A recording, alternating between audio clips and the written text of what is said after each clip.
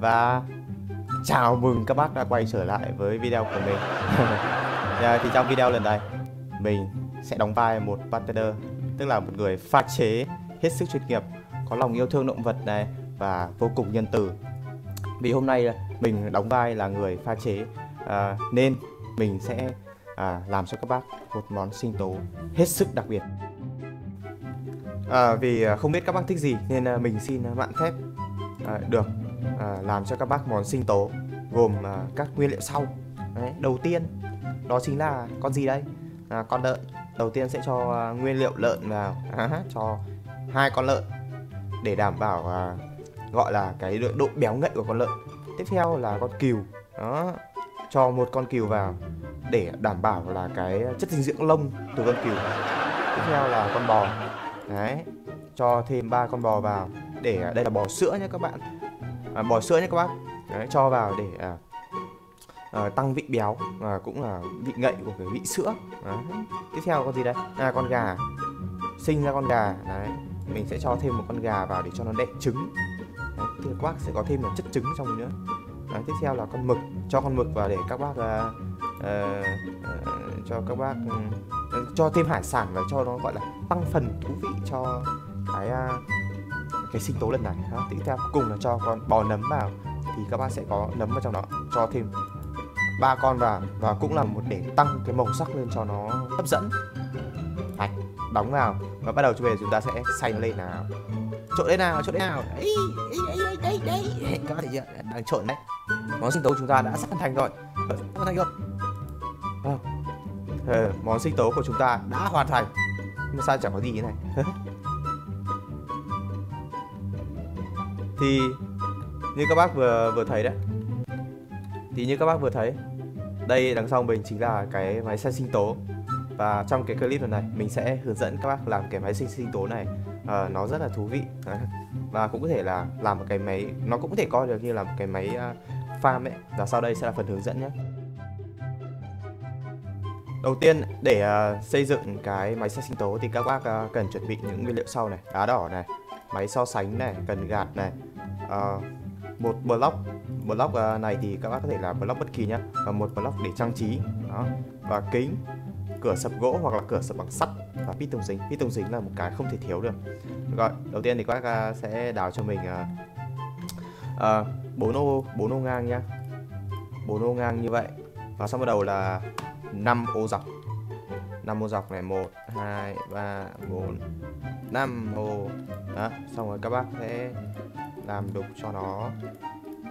Đó, đục.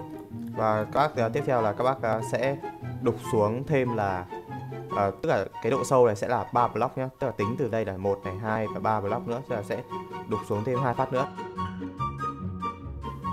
Đó sau khi mà các bác đã đục xuống 3 block rồi, rồi thì tiếp tục đục cho mình là thêm uh, một phát này hai phát ở đây này xong rồi đục thêm như này cho mình. Đó đục thành một ô như thế này rồi. Các bác tiếp tục là đục một cái lỗ vào đây nữa. Đó đục một cái lỗ như vậy. Xong các bác bay trên căn vào đây căn đúng cái lỗ này này. Đó đục nó xuống. Tức là nó sẽ được như thế này. Xong bây giờ tiếp tục là chúng ta sẽ đặt block vào. Đó, đặt bốn block như vậy. À, các bác à, đầu tiên là phải đặt cái này ra đã. Tại vì là chúng ta sẽ cần à, đặt cái à, máy so sánh. Nó quay ra như thế này nên chúng ta cần đặt đi một chút. Đó và giải đá đỏ.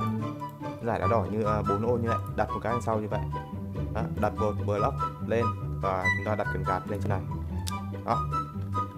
Tiếp theo là các sẽ đặt sang bên này. Đấy, nối hai cái vào như vậy. Nối hai cái xong rồi nối hai cái lên trên này.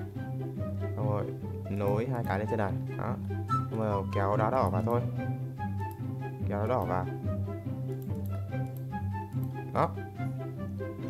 Và sau đó là đặt uh, piston dính vào giữa. Nhớ đặt cho nó cao lên nhé nhớ đặt cho nó chổng chổng mặt lên đấy và bắt đầu đặt uh, mình cái khối này lên. Đó, đặt khối uh, lên xong rồi thì các bác sẽ trang trí. Là trang trí nhưng mà các bác à, chú ý là trang trí chúng ta sẽ trang trí ở chúng ta sẽ làm cái viền ở trên cao như thế này nhé Đó. làm cái viền ở trên cao như vậy. Đó, lắp vào tại vì khi mà chúng ta bật lên ấy đó thì nó sẽ úp lên như thế này. Nên là các bác chú ý và một cái quan trọng nữa là các bác phải kích hoạt cái à, cái, cái nút ở trên này của cái máy so sánh. Thì khi bật lên thì nó sẽ đấy nó sẽ đẩy. Và đây là phần thô của chúng ta đã hoàn thành rồi đấy. Cái, phần thô của cái máy chúng ta đã hoàn thành. Còn một chút nữa thôi các bác uh, tiếp theo là các bác sẽ lấy một uh, cái phiến mà một nửa ấy. Mình không biết uh, cái tên nó gì half slab này hay là cái gì đó. Các bác sẽ đặt uh, lấp vào đây cho mình như thế này. Đặt lấp vào để uh, tránh cho cái việc mà khi mà các bác uh, đang uh, cái máy đó đang hoạt động ấy, thì các cái con vật nó có thể chạy ra ngoài. Thì lấp vào như vậy nó sẽ nó sẽ không chạy ra ngoài kiểu vậy thôi. Đó, lấp vào. Đó. lấp như vậy. À, chúng ta bây giờ đến phần bắt đầu đến gọi là chuyên mục trang trí. Đó, chuyên mục trang trí bắt đầu thì các bác chỉ việc lấp vào lấp vào vòng quanh như thế này. Lấp lấp lấp lấp lấp lấp lấp lấp lấp lấp lấp lấp lấp à lấp rồi và cái phần trên này thì các bác lấp cỏ vào cho nhìn cho nó tự nhiên hả còn bây giờ thì các bác trồng kính lên Đấy. cái việc trồng kính này thì các bác có có thể trồng là cái chiều cao tùy các bác thôi nhưng mà cái trồng khoảng uh, 9 10 GQKH uh, block thì là đẹp nhất hợp mắt nhất đó đó, đó. Và sau khi mà các bác đã trồng kính được à, một khoảng như này rồi thì tiếp tục là vẫn là công đoạn trang trí các bác sẽ làm một cái viền bên ngoài như này. Cái viền ngoài như này thì các bác thích màu gì thì đó là gu thẩm mỹ của các bác. Đó làm là sao cho các bác thấy đẹp là được. Đó, trồng một viền như vậy. Xong trồng một viền kính lên như thế này. À nhầm trồng một block lên như thế này. Đó, tiếp theo là chúng ta sẽ là gắn cái cửa sập vào cửa sập gỗ vào. Gắn ở trên nhé gắn hai bên như này. Rồi bây giờ các bác à, giải đá đỏ vòng vòng quanh sô cô la nó giải đá đỏ quanh như vậy. Và gắn à, và gắn cái à, cần gạt lên trên này. Kéo xuống thì mở ra kéo xuống thì mở ra kéo xuống thì mở ra. Đó. Kéo xuống thì mở ra. Và đó, chỉ với một vài cái công đoạn xây dựng nho nhỏ và những nguyên liệu rất là dễ kiếm thì các bạn có thể làm nên một cái máy xay sinh tố hay là một cái máy farm chẳng hạn. Và nhờ cái máy này thì các bác có thể tạo ra những món sinh tố bổ dưỡng cho gia đình, bản thân và bạn bè. Đó.